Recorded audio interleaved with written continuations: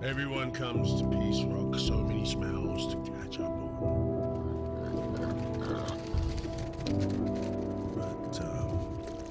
But,